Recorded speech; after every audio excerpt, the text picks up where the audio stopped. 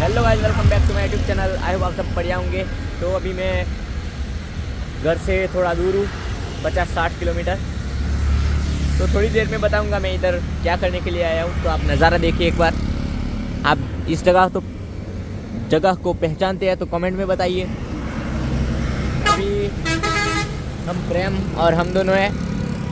तो देखते हैं थोड़ी देर में। दो लोग और आने वाले हैं। तो इंतज़ार करते हैं। और हम इधर कैसे आए वो देखिए। इंतज़ार में हम इंतज़ार करते हैं।